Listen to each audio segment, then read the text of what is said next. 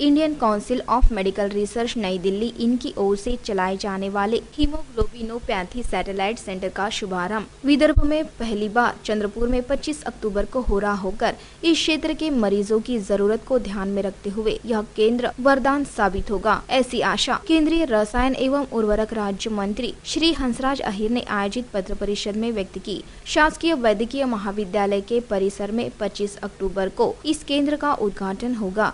चंद्रपुर ज़िले के गढ़चिरौली, यवतमाल, अमरावती, नागपुर, वर्धा, भंडारा, गोंदिया इस विभाग में जो सिकल पेशेंट है, साथ ही थैलेसीमिया, हिमोफेलिया पेशेंट भी बड़े पैमाने पर है। इन मरीजों का प्रमाण, उपचार व रोग निदान होने के लिए इस केंद्र की स्थापना चंद्रपुर में किए जाने की जानकारी इस वक्त केंद्रीय रसायन एवं उर्वरक राज्य मंत्री श्री हंसराज अहिर ने दी। इस उद्घाटन समारोह का औचित्य साध कर नागरिकों के लिए निःशुल्क स्वास्थ्य जाँच व उपचार शिविर का भी आयोजन किया गया है। इस सेंटर का उद्घाटन सावंगी के विनोबा भावे मेडिकल कॉलेज के संस्थापक अध्यक्ष, पूर्व सांसद दत्ता मेघे, इनके हाथों किया जाएगा। अतिथि के तौर पर राज्य के वित्त नियोजन, वन मंत्री तथा ज़िले के पालक मंत्री श्री सुधीर मुनगंटीवार इनकी उपस्थिति होकर ज़िले के सभी विधायक, जिला परिषद अध्यक्ष संध्याताई गुरनुले महापौर राखी कंचरलावार व तज्ञ डॉक्टरों की भी उपस्थिति रहेगी। इस वक्त पत्र परिषद में केंद्रीय रसायन एवं उर्वरक राज्य मंत्री Shri Hansraj Ahir,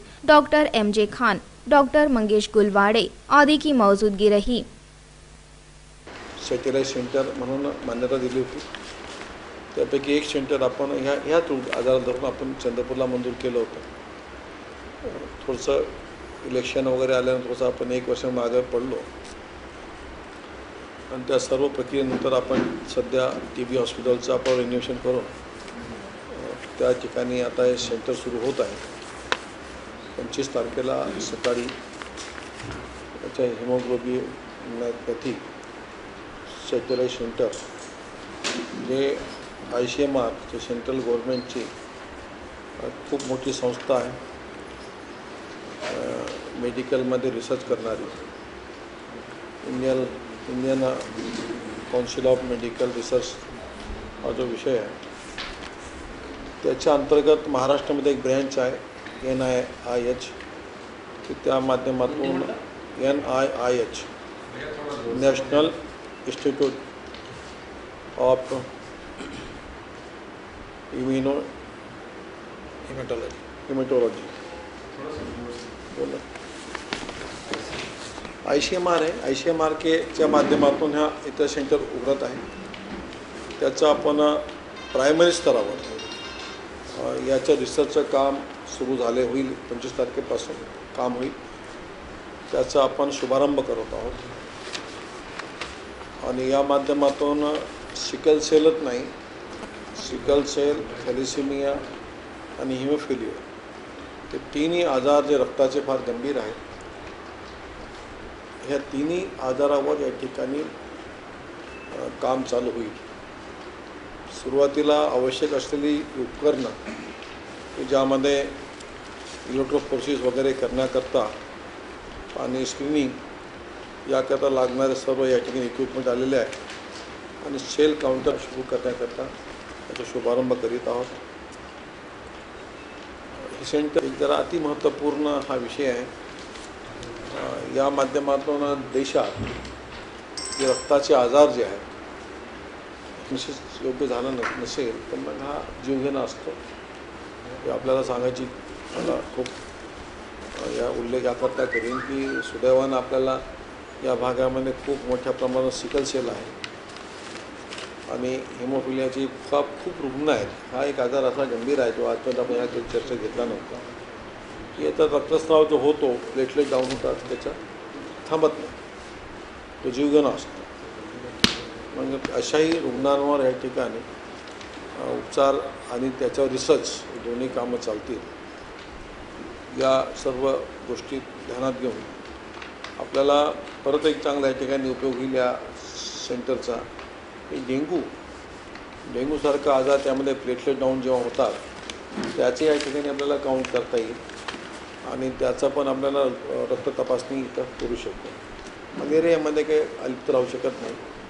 आणि ही जी रक्त तपासणी होईल ते प्रामुख्याने तीन आजाराकरता असली जागतिक चॅलेंज आहे जागतिक. आणि एका जिल्ह्याचं नाही. हे चॅलेंज स्वीकारून भारत सरकारने हा एक उपक्रम हाती घेतला होता. त्याला आपलं चंद्रपूरमध्ये सुरू होत आहे. पंचवीस तारखेला आम्ही या ठिकाणी त्याचं उद्घाटन करू. शुभारंभ करू. टी बी हॉस्पिटलच्या मागच्या जुन्या इमारतीमध्ये त्याचं काम पूर्ण झालेलं आहे. त्यामध्ये उद्घाटन प्रसंगावर आपले उद्घाटक म्हणून आपण त्या ठिकाणी दत्ताजी मेघे यांना बोलवलं आहे. तिथं कॅम्प घेणार तिथं दिवसभर चालेल कॅम्प. आणि सगळे रुग्ण त्यांचे पॅरेंट यांनाही तपासणीनंतर मार्गदर्शन होणार. मार्गदर्शन तीन हॉलमध्ये होईल. आणि त्या ठिकाणी विविध विषयावर त्यांना टीचिंग होईल. रुग्ण तपासणी होईल. रुग्णांना आवश्यक औषध आम्ही मोफत देऊ. आणि भविष्यामध्ये जसं की आता सिकल सेल सारखा आजार जो असतो त्यामध्ये जॉईंट्स काय बोलते? फीमर का नेक्रोसिस फीमर बडी हड्डी खराब हो जाते हाडा हाडं घासून जातात त्याच्यामध्ये तो पेन होतो. त्याच्यावर आपण पहिल्यांदा लेक्चर ठेवत. होतो की तो एक विषय महत्त्वाचा आहे त्या ठिकाणी होईल. आणि हिमोफिलिया हा एक आजार खूप गंभीर आहे त्याची पण तुम्हाला थोडंसं माहिती चांगली मिळू शकेल सगळ्यांना. हां ते शिबिर उद्या राहील परंतु हे जे सेंटर आहे ना ह्या सेंटरचे मूल जे बेसिक इंटेन्शन्स आहेत ते नंबर वन काउन्सलिंग म्हणजे त्यांचे ट्रेंड काउन्सलर्स आहेत.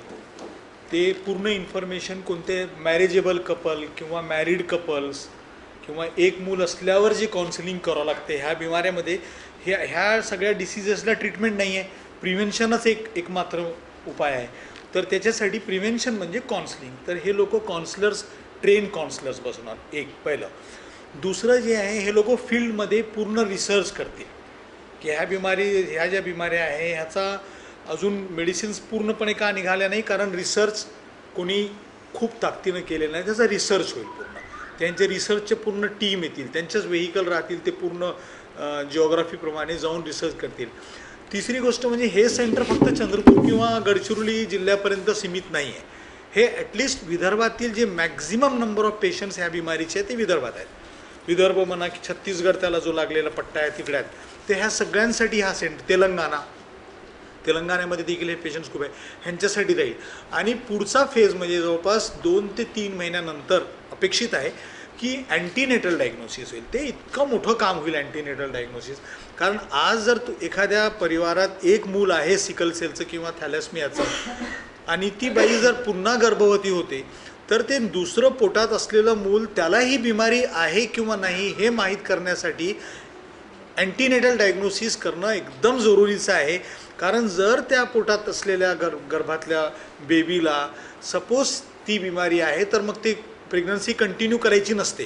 किंवा केली आणि दुर्भाग्यानं सपोज ते डिसीज पेशंट निघाला तर त्रास होतो. म्हणून अँटीनेटल डायग्नोसिस हे ह्या सेंटरचा सगळ्यात मोठी उपलब्धी राहील. आणि ह्यावेळेस भैयांनी जे नवीन ॲड केलं याच्यात ह्या सेंटरमध्ये जे आमचं चाललं होतं चालू होतं ते हिमोग्लोबिनोपॅथीवर चालू होतं. ह्यावेळेस जे नवीन ॲड केलं ते आहे हिमोफिलिया रक्तस्रावाची जी बिमारी असते त्याचे जे इतके महाग इंजेक्शन्स असतात. हिमोफिलिया ह्याच्या ह्याची छोटीशी असोसिएशन नागपूरला आहे पण आपल्या इथं नव्हती. पेशंट्स आपल्या इथं देखील आहेत. तर ह्याचे जे इंजेक्शन्स महाग असतात ते आपण यांचा प्रयत्न राहील की ते कमी किमतीत सबसिडाईज रेटमध्ये त्या त्या पेशंटला मिळून द्यायचे.